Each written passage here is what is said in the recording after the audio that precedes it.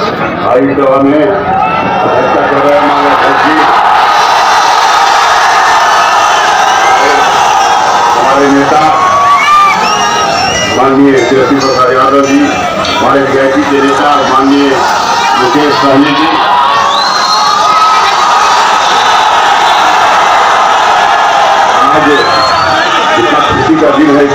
अच्छा उमंग आप लोग बालू के कोने कोने से हकूमत से साथ से गिरफ्तारी से भी कर रहे हैं आज सब कोई का क्रांतिकारी अभिनंदन हम इस मैदान में करना चाहते हैं और बताना चाहता हूँ, मोदी की गारंटी झूठा है। हमारे नेता की गारंटी पक्का है कि सत्रह साल में, सत्रह महीने में उन्होंने पाँच लाख नौकरी देने का काम किया। भाइयों बहनों मैं कहना चाहता हूँ कि आज बिहार बदल रहा है, देश बदल रहा है। जो पाँच चरण का चुनाव हुआ है।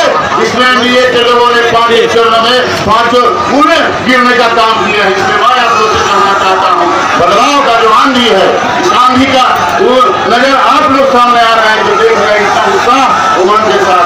मैं आप लोग से कहना चाहता हूँ, सामने के जो पच्चीस तारीख का लोकतंत्र का महापर्व है, इसमें महागठबंधन के तमाम हमारे वोटर्स लोग जनता लोग माली काफ़ी हद से करवा रहे हैं बात करिए भाई हाँ, लेकिन याद रखिए सामने लोकतंत्र का महापर्व इस पर में आप लोग से आग्रह निवेदन है कि अपना एक एक वोट लड़के छाप पर देखे भारी से भारी बहुमत जिताने का काम करे अपने नेता का हाथ मज़बूत करने का काम करे महागठबंधन को मज़बूत करने का काम करे और देश में महागठबंधन का सरकार बनाने का काम करे। इसी के साथ मैं अपना वक्त अपने नेता को देना चाहता हूँ। बहुत बहुत धन्यवाद। आपका मुन्ना टुकड़ा और हम आमंत्रित करेंगे। आदरणीय मुकेश सहनी जी सर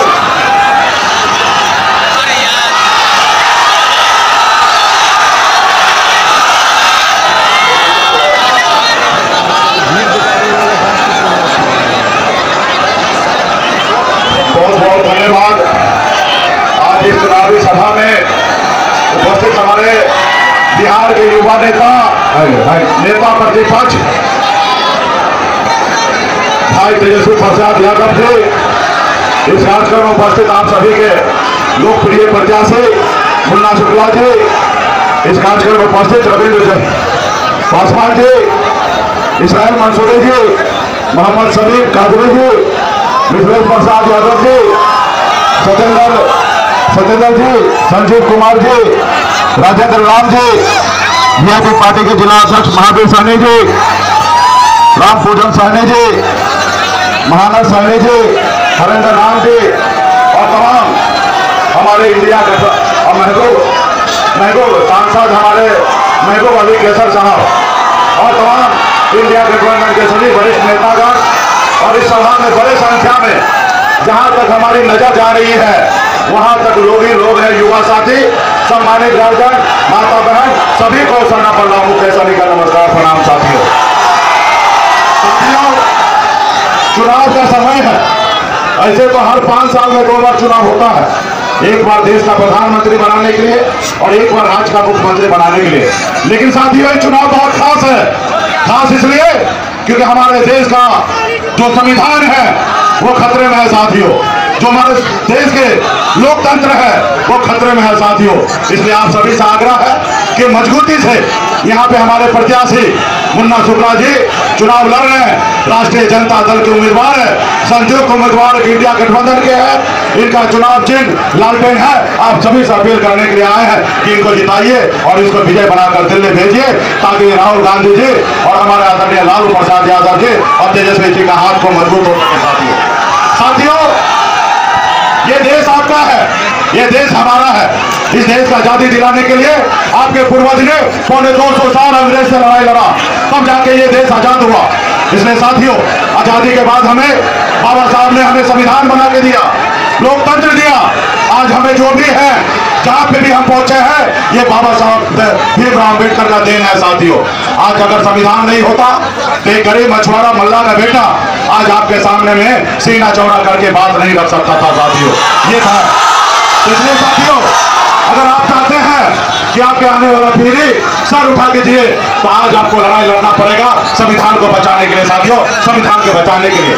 बाबा साहब ने सोचा तो समाज हज़ारों साल से पीछे रह गया है। इस समाज को आगे लाने के लिए आरक्षण का व्यवस्था किया गया। लेकिन ये मोदी जी, ये जब से सरकार में आए तब से ये क्या कर रहे हैं? जितने भी हमारे सरकारी संस्था था, चाहे हमारा रेलवे हो या एयरपोर्ट हो, सभी चीज़ों को प्राइवेट के हाथ में दिया जा रहा है ताकि आरक्षण खत्म हो जाए और गरीब पिछड़ा का बेटा रोड पे भवाने का काम करे साथियों। आज देखते होंगे, ये पावर के दम पर, पैसा के दम पर आपका बनाया हुआ विधायक को खरीद लेते हैं। आपका चुना हुआ सांसद को खरीद लेते हैं, क्योंकि इनके पास पैसा है। पैसा कैसे ले रहे हैं? यानी कि चंदा दो, धंधा लो। जो चंदा नहीं दोगे, उसको उठा के जेल डाल देता साथी। ईडी सीबीआई का नोटिस भेज के जेल डाल देता है। आप बताइए, बाबा साहब ने सोचा कि देश में जनता को हम मालिक बनाएँगे, नेता को नहीं। इसलिए वोट गिराने का अधिकार आपको दिया। और साथियों, आप चुनाव में वोट दीजिएगा, विधायक बनाइएगा, सांसद बनाइएगा। और कोई अपने पैसे के दाम पर अगर उसको खरीद लेगा तो ये आपका अपमान है साथियों, ये आपका अपमान है। आप बताइए, अगर इसी तरीके से देश में अगर पैसे के दम पर किसी का सरकार गिरा दे, किसी का विधायक खरीद ले, किसी का सांसद खरीद ले तो फिर आपके पास पावर क्या रह जाएगा साथियों? आपके हाथ में पावर इसलिए दिया बाबा साहब ने, क्योंकि अगर नेता अगर झूठ बोलेगा तो पाँच साल के अंदर में आप उनको बदल दीजिएगा।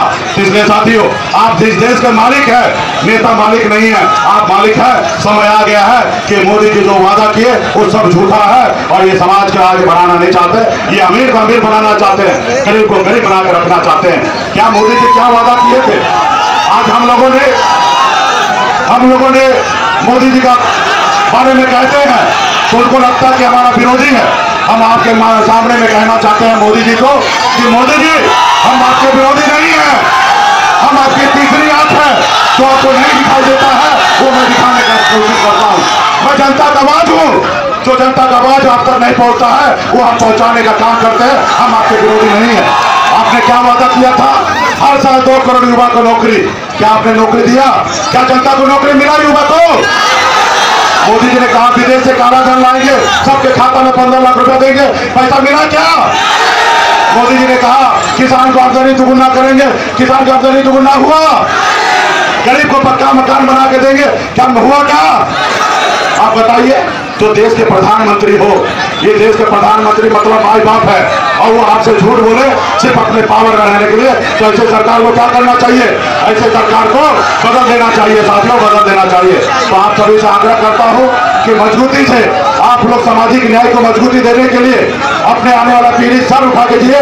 इसके लिए मजबूती से इंडिया गठबंधन के साथ खड़ा हुए और भुन्ना शुक्ला जी को लालटेन पर वोट देकर विजय बनाइए ताकि आने वाला समय में हमारी दिल्ली में सरकार बनेगा और जो भी आपका हक अधिकार है, जो भी समस्या है, हर समस्या पे हम लोग काम करने का काम करेंगे। बहुत बहुत धन्यवाद सभी नेतागण को, सभी युवा साथी को।